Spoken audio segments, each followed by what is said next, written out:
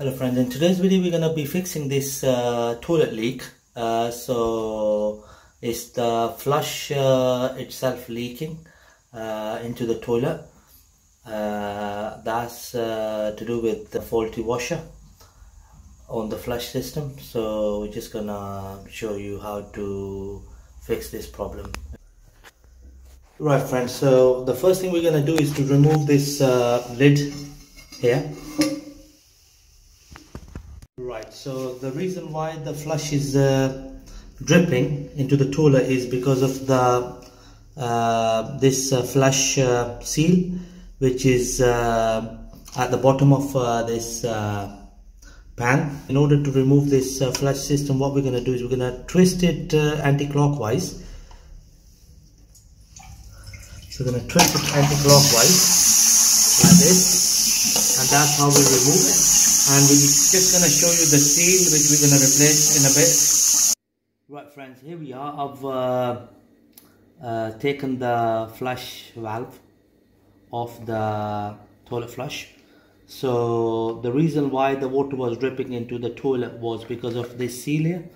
You can see it's all uh, deteriorated. Uh, you can either buy the whole mechanism which is gonna be very costly. So what I've done is uh, I've just bought the new seal from uh, City Plumbing and uh, it costed me eight pound. So I've got the seal here okay? So that is uh, the flush valve uh, seal and the clip. The way I'm gonna uh, remove the old seal out is I'm gonna get the long nose plier there we go. So that's how I've uh, pulled the clip out. And then the next bit what we're gonna do is uh, we're gonna uh, see it's all deteriorated. There we go. So once we change this uh, valve seal and put a new clip it'll stop leaking. Okay so the way it goes in is like this. It's gonna push it all the way in. Simple forward procedure. Okay. And uh, then what I'm gonna do is I'm gonna use a new clip. Just gonna push it in. Like this. There we go. Hear the click. Okay. So that's the new seal fitted and the clip is fitted.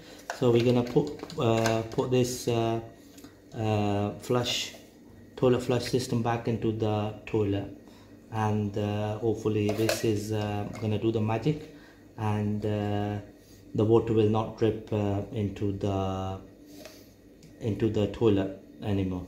Right there we go friends. Um, we have replaced the seal and the clip. So we're just gonna fit it back into the into the pan. So the way it goes in is like this. Okay all the way in. And then uh, we're gonna twist it clockwise till it clicks in. There we go. That's how it gets fitted. Right so the seal I've replaced will uh, stop the water leaking into the toilet. Okay so just gonna show you. There's no more leak.